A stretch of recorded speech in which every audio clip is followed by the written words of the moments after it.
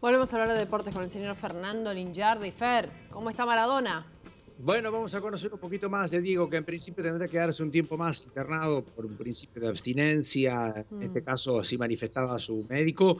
Lo concreto es que ayer quería irse a lo Diego, quería dejar el hospital. Eh, su médico Leopoldo Luque tuvo que consultar también al ex médico de Maradona, ustedes recordarán, al doctor Alfredo Cae, tratando de conocer un poco más al Diego paciente. Esto pasa a estas horas.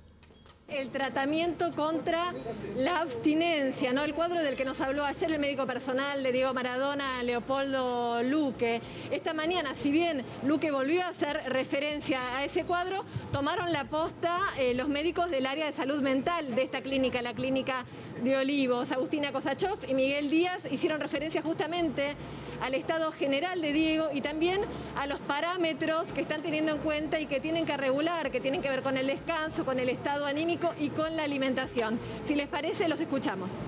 Queríamos comentar que la salud de Diego está bien, se encuentra muy bien anímicamente, evolucionando favorablemente, realmente está cada día mejor. Y eso es a lo que estamos apostando, ¿sí?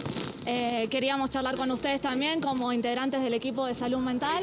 Eh, la realidad es que en el contexto del postoperatorio de Diego aparecieron estos síntomas que mencionó el doctor Luque de abstinencia y a su vez también surgieron ciertos parámetros que nos pareció importante regular, como por ejemplo parámetros del descanso, de la cuestión del apetito también y del ánimo. Hasta ahora la recuperación es, es algo asombroso, como nos tiene acostumbrados Diego, así que realmente si continuamos así, en pocos días seguramente tendremos novedades, pero cada día estamos realmente mejor. Están acomodados todos los parámetros y estábamos en busca justamente de poder normalizar todo lo que tenía que ver con el sueño, con la alimentación de Diego, que en este momento se encuentran excelentes.